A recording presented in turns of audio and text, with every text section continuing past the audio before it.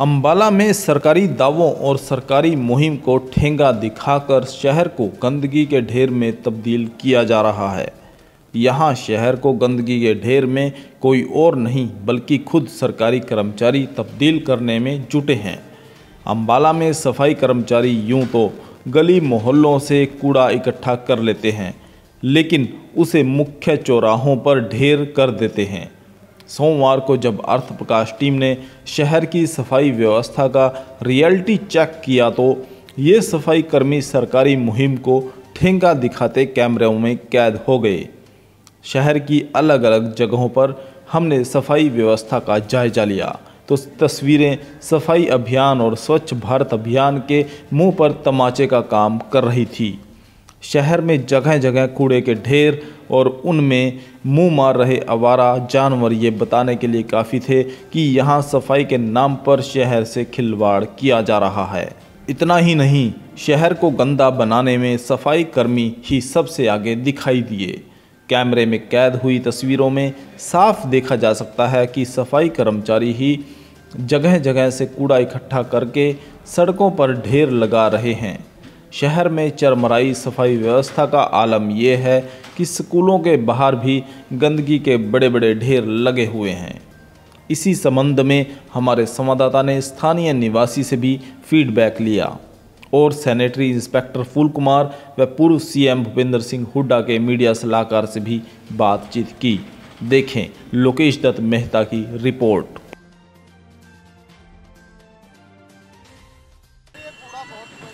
Sir, ये बहुत ही ज़्यादा फैला पड़ा है कूड़ा ये। इसके बारे में कुछ संविधान समस्या कुछ हो नहीं रहा है।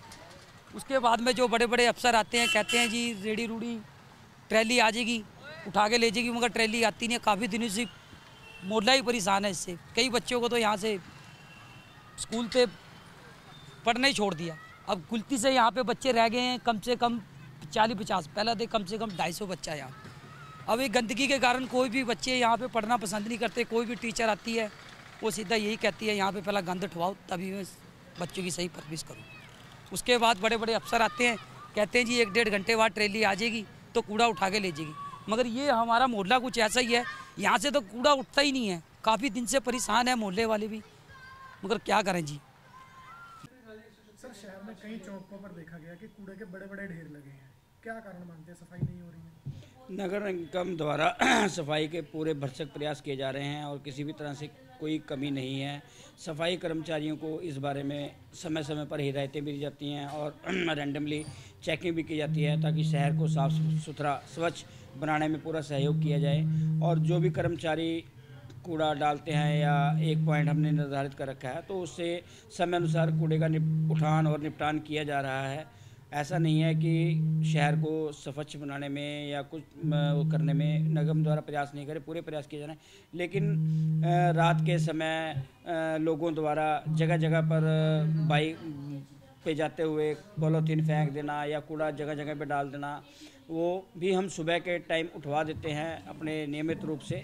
लेकिन मैं सिर्फ़ इतना कहना चाहूँगा, अगर नगर निगम द्वारा सफ़ाई के लिए इतने भरसक प्रयास किए जा रहे हैं तो मैं आम जनता से भी इस चीज़ की अपील करना चाहूँगा और कहना चाहूँगा कि अपने शहर को स्वच्छ, साफ़ सुथरा रखने में नगर निगम का सहयोग दें।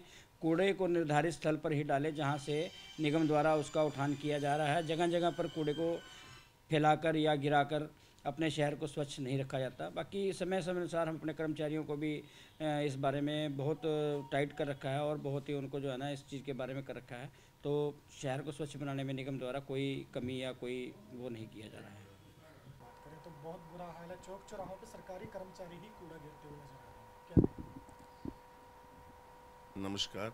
देखिए इस व्यवस्था को लेकर तो हम लोग अम्बाला शहर के लोग जिला अम्बाला यहाँ तक कि सारा हरियाणा, आप कहीं किसी कोने में चले जाओ, सरकार का जो नारा था स्वच्छता अभियान का, वो कागजों में ही रह गया।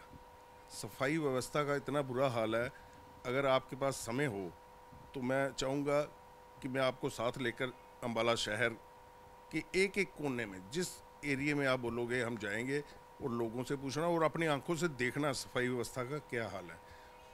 और सफ़ाई व्यवस्था के अलावा स्ट्रीट लाइट सड़कों का बुरा हाल, जैसे कोई एडमिस्ट मतलब प्रशासन नाम की चीज़ ही नहीं है अम्बाला में तो। बहुत दुखी हैं लोग। हम पिछले दिनों मेरे साथी भाई हिम्मत सिंह, चित्रा सरवारा जी, जो हमारे पूर्व पार्षद थे, हम सभी लोग कमिश्नर साहब को मिले थे। इस को लेकर हमने ज्ञापन भी दिया था। इसके अलावा सफ़ाई व्यवस्था का तो बुरा हाल है। जब कोई भी लोग किसी कार्य के लिए, कोई एनओसी लेनी है, निगम में जाते हैं तो उसमें जो है कूड़ा के नाम पे वो टैक्स लिया जाता है। जब सफ़ाई व्यवस्था है नहीं, जो प्राइवेट हमने ठेकेदार को ये काम दिया था, वो पिछले पाँच महीने से कर नहीं रहा और कर्मचारियों को वेतन नहीं मिला तो आप लोगों से उसका वो बस टैक्स वसूल कर रहे हैं तो ये कहाँ का न्याय है? तो इसको लेकर हम मिले भी थे। कमिश्नर साहब ने हमें आश्वासन दिया था कि इस पर कार्रवाई होगी, उचित कार्रवाई होगी। अभी तक तो कुछ नज़र नहीं आ रहा। और इसी तरह और मुटेशन का है। निगम में मतलब इतना बुरा हाल है, मैं आपको क्या क्या इशू बताऊँ? मुटेशन के काम के लिए लोगों ने दो दो चार चार साल से अप्लाई किया है। लापरवाही निगम की और उस पर भी जुर्माना ठोकने की तैयारी कर दी है। लोगों के ऊपर। तो इस तरह की जो है व्यवस्था बहुत बुरा हाल है। ये कागजों में और मीडिया में ही सफ़ाई व्यवस्था है। वास्तव में बहुत बुरा हाल है। ताज़ा अपडेट्स के लिए अर्थ प्रकाश टीवी को सब्सक्राइब करें और बेल आइकन को प्रेस करें।